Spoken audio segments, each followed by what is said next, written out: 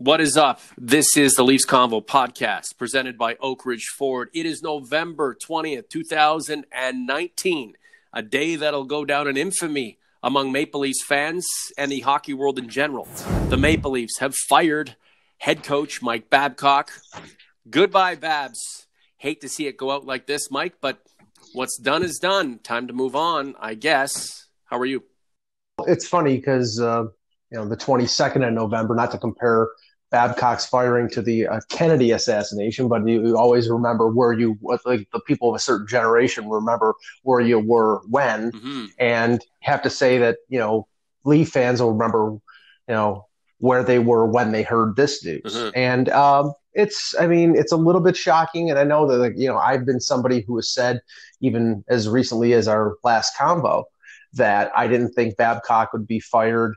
Um, this season, or unless they lost 10 or 12 in a mm. row and fell way behind. Yep. And uh, had Kevin Allen on our on our buzzcast this afternoon. He basically agreed. He said, and a lot of other experts have said, you know, Dave Poulin on TSN and Bob McKenzie said it was a 50-50 proposition. And Poulin said he thought 100% that Babcock would make it to the end of the season. So this is a decision that I think shows a little bit of the what I think is the philosophical divide between Dubas and, and Babcock that has been, I think, ongoing since Dubas was hired as general manager. And you can buy into it, you cannot buy into it. I know that Shanahan said that he thought that Kyle and Mike had a good working relationship. Well, that's all fine and good. I'm sure they did, but you know that doesn't mean that they agreed on how uh, the team should be playing and should be utilized. And we know that Babcock, in certain instances, had his favorites, had players that he played no matter how bad they played, guys like Martin Marincin or Freddie Gauthier, who, by the way, was on the ice for th- the three non-empty net goal or non-empty net goals last night in the loss to Vegas. Um, but he stuck to those principles. He's a very stubborn guy, believes what he believes in. He won a Stanley Cup. He got to a st- couple Stanley Cup finals. Mm. He won two Olympic medals. He has every right to believe what he believes in, but it doesn't mean that it's right. And I think that the philosophical divide and the sign off by Brendan Shanahan uh, were the things that led to Babcock being fired today. OG's converts, where were you when you heard the news of Babcock's firings? Get at us in the comments section or on the community platform. I'd love to know. I was standing in the tower where they do the car deals at Oakridge Ford. Michael, thanks to you, I got the news. I can't say it's good news. I'm not exactly happy with it. Is this a situation where the team gave up on Mike Babcock? If it's as crazy and as difficult as that is to comprehend, it's a possibility. Or mm-hmm. is this does this come down to right now this team needs a change in philosophy? The players were trying. It's not work. It wasn't working under Babcock. Bring in Sheldon Keefe. Let's see what he can do. Because clearly we know that Kyle Dubas's long-term viability as general manager in Toronto is tied to the success of the head coach that he's just appointed. Well, I don't know if it came down based on what Shanahan said. It was the last couple weeks, which coincides with you know the the beginning of the slide, the six game losing streak, five in regulation. If you look at the standings right now, there's still only two points out of a wild card yeah, spot, and we, more than that too, though, right? Right, right. Four four points out of out of third place. So, but but it was more than that because we know that it came pretty close to Babcock being fired in the offseason. They ended up, ironically, and I said this during the during the summer when they relieved Jim Hiller and they uh, lost DJ Smith to Ottawa and brought in McFarland and Dave Hakstol. This is the same thing that happened with Randy Carlyle the year that he was fired. They brought in new assistants, Horachek and Steve Spott, and then Carlyle was fired. I thought there was a possibility that even Hakstol would have been the interim coach here because I'm not sure if they wanted – to uh, you know sort of disturb Sheldon Keefe, or whether they wanted to put him into this situation where they're going to be mostly on the road for the next month. Yeah, it's going to be a, a, difficult difficult scenario. But mm-hmm. I mean, you're you're right. Dubas and and Keefe are tied together. Keefe, um, you know, thinks the same type of game and speaks the same language as Dubas, and we'll see whether um, that you know that will make uh, that'll tra- transmit to a, a better playing uh, performance by the Leafs. I think it will in some in, at, some aspects because this team was not, and I've said this for a while. This team was not built to play Mike Babcock hockey. He, he t- constantly talked about heavy hockey, and this team is the furthest away from heavy hockey that you can uh, get. Okay. So the type of hockey that Sheldon Keefe wants to enact is that the type of hockey that is going to be top three, top four among the 31 teams in the NHL?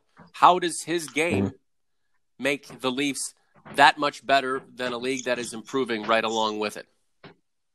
Well, from what and what I've observed watching the Marlies for years and uh, listening to people who with either are friendly or observed Sheldon Keefe and the way he coaches and the OHL with Sault Ste. Marie or with the Marlies. He is an attack oriented coach. And this is based on their speed and skill, should be an attack oriented team.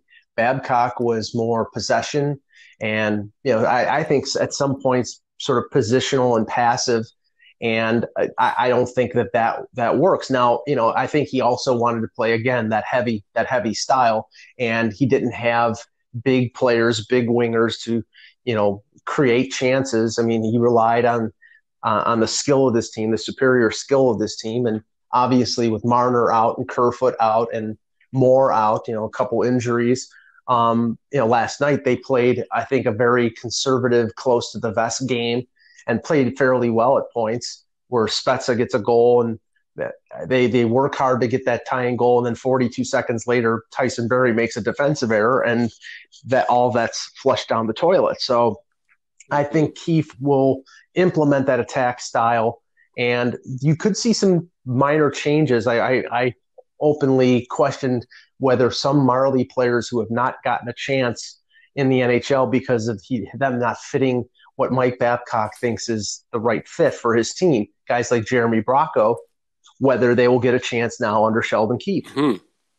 Wow. What kind of player was Sheldon Keefe? Was he a knuckle dragger? He was a fighter, wasn't he? No, I mean, he was a tougher player, but I, I don't. I mean, his NHL career was so brief yeah. that I can't really. I know he was with Tampa, but yeah, I mean, he he gives the impression off based on you know interviewing him, talking to him, that he he was a tougher player, but I, I don't really recall his career that much. Mm, interesting. OGs, converse. What do you think? The Leafs convo continues. Nathan Jenner from Oakridge Ford. The 2020 models are rolling in, including the all new redesigned Escape and Explorer. For a limited time, save big with Black Friday specials on all remaining in stock 2019. Like a 2019 Ford Edge SEL all wheel drive, starting at 433 per month plus HST for a five year lease with $0 down. Oakridge Ford, where a reputation gets you here and the trust keeps you coming back. For full details, visit oakridgeford.com. We have all sorts of Black Friday deals right now. If you're local, come talk to me. Huge cash up front off the purchase of pretty much every vehicle on the lot if it's new. You can at me inside the community section or get at me in the comments or at I am Norman James on Twitter. My email is norman.james at oakridgeford.com. So Brendan Shanahan goes all in on Kyle Dubas, Michael, clearly. Um, mm-hmm. Chose Dubas over Lamoriello, over Hunter, over the boomers, over the old guys, and uh, supporting this move to move Mike Babcock away f- from 40 Bay to wherever the hell else he wants to go. And Sheldon Keefe's now the man. Um, so, I mean, it's on Dubas, it's on Keefe, but is it not on Shanahan more so, Mike? Well, I, I, think that you know Shanahan brought in Babcock to provide stability and get them to a certain level, and obviously, I think he wanted ideally for them for him to lead them to a Stanley Cup. That didn't work out, but I think you know a couple hundred point seasons and them being you know at a certain level, even though they've they've slumped recently, I think that's something that a few years ago was unthought of after missing the playoffs for as many years as they did. Now it's up to Sheldon Keefe to sort of take them to the next level. Um, I think, you know, obviously this is the, the heat is a little more on Shanahan, but Shanahan just got a new contract, so I don't think there's too much heat on him. He's well liked mm-hmm. and he's well respected. And I mean, the now the the focus shifts to Kyle Dubas. And I mean, Kyle Dubas has chosen his man. I think it was, we always knew that this eventually yeah. was going to be the direction. You know, it was a fait accompli that Sheldon Keefe would be the next head coach. And now he's got his coach and they implement the system that they implemented with uh, Sault Ste. Marie mm-hmm. and with the Marlies. You know, hopefully it'll have the same success that it had with the Marlies, which ended up in a championship. Mm-hmm. So that that you know we'll, we will see now the next the next change or the next step here is if the players that this team that that Dubas has put together do not live up to the expectations, then you're going to see changes with the players. It may not happen for the remainder of the regular season because they're so tight up against the cap, yeah. but you could you could see players being moved if they don't fit with what they're looking for, and that's that. It's up to the players for them to play the system that Keefe and Dubas want them to play and be successful. And if they're not, they'll find other players that can. So cap restrictions, I guess, um, well, not theoretically, but practically restricts a whopper of a deal from being made to change the on ice complexion of the team? Well, it would have to be a sort of money out, money in scenario where, like, if you, you, you know, if you're open to moving Kasperi Kapanen or Andreas Johnsson or mm. uh, William Nylander or somebody of that, somebody of that ilk, then you know you it would be somebody coming back that would be an, an equivalent salary. Now, you know, we're we heard the the Tyson Barrie uh, rumors that were discussed on Saturday from Elliotte Friedman uh, on the Saturday hot, uh, headlines. Yeah. And that that has sort of gained traction, but the but the thing is, is that I think that this change is an, is sort of a fresh start for Barrie here to see whether he can play the way he played in Colorado yeah. and be successful. He's he's likely not going to stay yeah. around. He's not he's a he's a he's a one year rental, but they want somebody with skill, and they want and hey, maybe they put Rielly and Barrie together and they play 25 minutes a night and put other teams on their on their heels. That's possible. I don't think you would have ever seen that under Babcock. You might see it under under uh, Heath. Yeah, ingenuity, innovation, experimentation. If those are the things that Keefe is going to bring to the job immediately, I'm all for it. I have nothing against Keefe. I have nothing against Dubas. I'm pro them. I'm pro Maple Leafs over individual Leafs. It just kind of sucks the way mm-hmm. Went down for Mike Babcock because I, you know, the guy is a good guy. He's a classy guy. I mean, he's done well. He was brought to Toronto with the anticipation of taking the Leafs to great heights. They just couldn't get over the hump. Um, unfortunately, I think his stubbornness and his inability to to change or his want to lack of want to change compounded a lot of the problems that were happening with the Leafs on the ice. Do I think this is going to be the tonic, the cure all? Not a chance. OG's Converse, I have a lot of questions for. I want you guys to just light up the comment section, uh, the community platform as well. I have a feeling this is going to be big, and clearly the, the news is monstrous and uh, change. I mean, it's it's a it's a major major shift for this organization and certainly the fan base too. Do you think, guys, that the Leafs are still a contender for the Stanley Cup this season with this change? It's not too late, but is this mm. Sheldon Keefe being the guy now? Is is this all that it's going to take for this team to all of a sudden snap out of whatever the heck uh, has been holding it back? Uh, not only for this season, but uh, throughout the playoffs last year and really a lot of last season too. Is this what it's going to be now?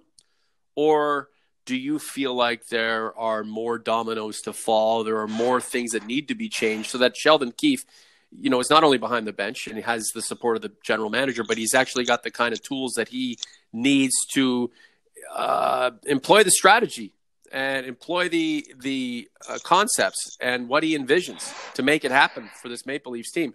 My my concern is that Sh- Sheldon Keefe is just one man.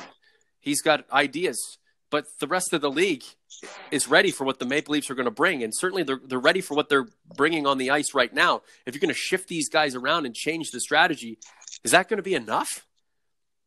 Will this team ultimately, at the end of the day, realize no matter how they play, they need to be tougher, they need to be grittier. The speed and skill are great, but you're going to need that other component that this team didn't have under Mike Babcock and won't have under Sheldon Keefe until they make changes. Last word to you, Michael. Yeah, they play Arizona tomorrow night. Sheldon Keefe's first game as Leafs coach. Um, obviously, it'll be appointment television to watch them play against a team that's playing extremely well uh, defensively, especially. Um, you know, they're not. I mean, they're not going to get Marner back for at least another four or five weeks. They might get Kerfoot back. I, I agree with, with some of the things that I've heard uh, this afternoon, saying you can expect Keefe to probably play John Tavares and Auston Matthews over 20 minutes, something that what that Babcock was sort of loath to do because he was always about balancing ice time. But you know, all hands on deck right now. This team needs to yeah. win, and you know, for all the panic, this team is only two points out of a wild card spot. So yeah. I, I, maybe it was justified to fire Babcock now if they thought that the philosophical uh, differences were too much. But this season is far from over. Yeah, by any means necessary right now, Mike. All hands on deck, as you've mentioned. If you've got to play some of the big stars, the heavyweights, the thoroughbreds, a lot of minutes to get results right now, that's great because in time when things level out and the team calms down and there's a uh, a sense of cohesion and harmony, then you can dial guys back and give other players a chance. But right now, um, in a lot of ways, Mike, I know they're two points out, but the season's on the line they just you know, are they really a wild card team? The season's on the line, and the season's going to be on the line for weeks and months to come. So, anyway, Mike, thanks a lot. Uh, I uh, wish we were on better terms, but the Leafs Convo will always continue. Thank you very much, man.